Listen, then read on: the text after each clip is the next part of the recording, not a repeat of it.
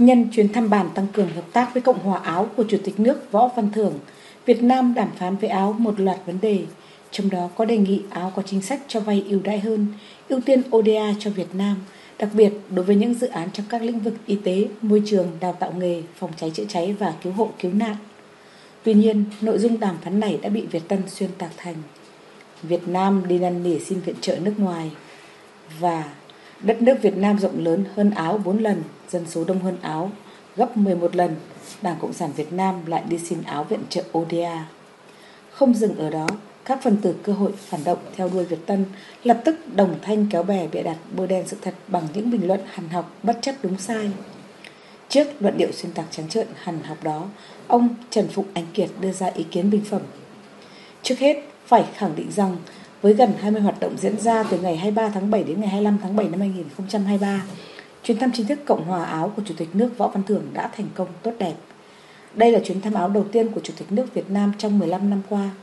và chuyến thăm diễn ra ngay sau dịp hai nước kỷ niệm 50 năm thiết lập quan hệ ngoại giao vào năm 2022. Trong chuyến thăm này, Chủ tịch nước Võ Văn Thưởng và Tổng thống Alexander Van der Bellen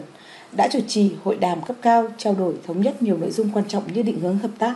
biện pháp để đẩy mạnh làm sâu sắc hơn nữa quan hệ hữu nghị truyền thống, hợp tác nhiều mặt giữa Việt Nam và Áo.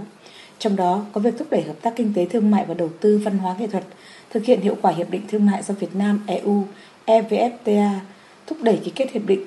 bảo hộ đầu tư Việt Nam EU EVIPA, sớm gỡ bỏ thẻ vàng EU với thủy sản Việt Nam. Thông tin đầy đủ về chuyến thăm hữu nghị cấp cao này, những hoạt động của Chủ tịch nước Võ Văn Thưởng và phu nhân cùng đoàn cấp cao đều được các cơ quan báo chí truyền thông trong nước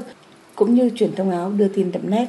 Truyền thông của Việt Nam và Áo đều, đánh giá cao chuyến thăm của Chủ tịch nước Võ Văn Thưởng với các hoạt động dày đặc trong nỗ lực thúc đẩy quan hệ song phương. Thực tế đó cho thấy ở vị thế một nguyên thủ quốc gia trong các cuộc gặp gỡ hội đàm cấp cao trao đổi với Tổng thống Alexander Van der Bellen, Chủ tịch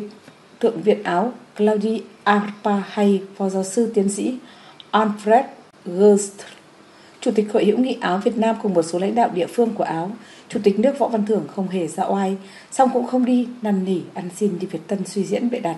Cho nên việc Việt Tân tự suy diễn và cho rằng Chủ tịch nước Võ Văn Thưởng đang đi xin viện trợ nước người ta mà lại dở giọng như là chủ nhà là bôi đèn sự thật, là cố tình bôi nhọ Chủ tịch nước Thứ hai, theo điều 1 khoản 19 điều 3 Nghị định 114 2021 NDCP,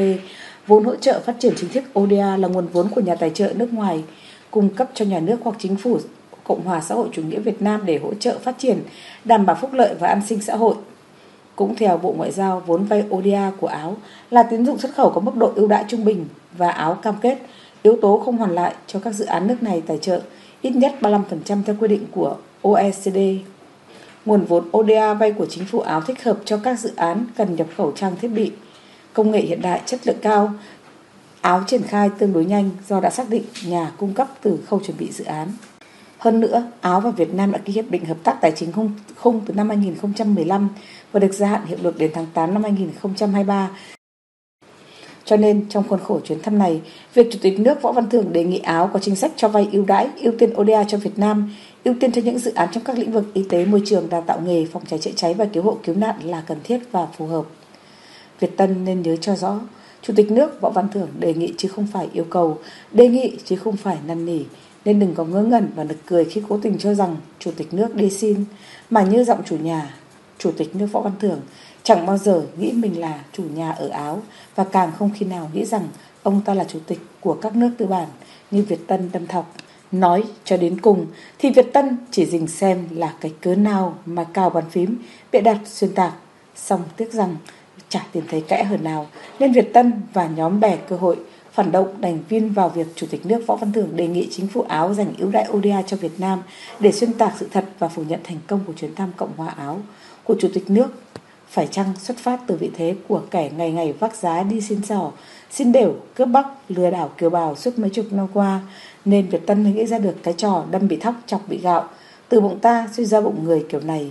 Thật chẳng khác nào tự tay vả vào miệng mình.